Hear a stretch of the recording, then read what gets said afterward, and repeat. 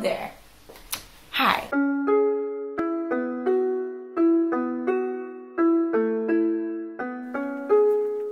Oh, hello there. Right.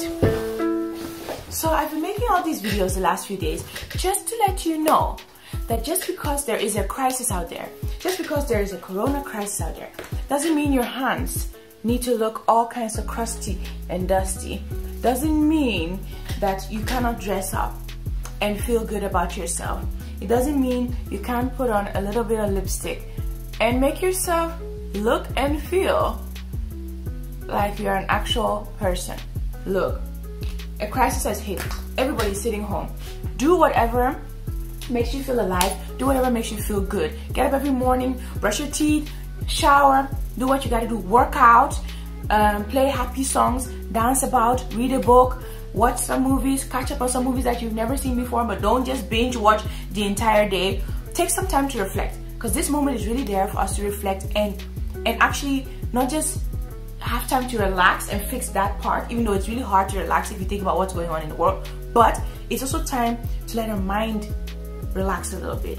Take away all the tensions, all the all the stresses of all the stresses of work, school and everything. Just relax and really be reflective and think about life and think about your life thus far and what you have accomplished and what you've been able to do.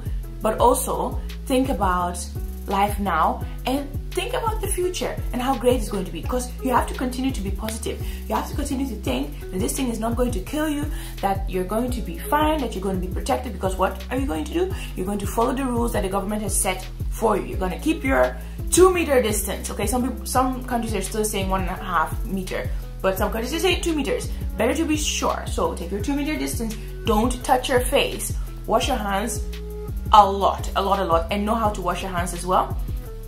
And yeah, just think positive thoughts and you will be cool. So yeah, don't just sit and be sad and have pajama days for weeks and weeks on end. Make sure you get up, you show up as if you're going somewhere, even if you're not.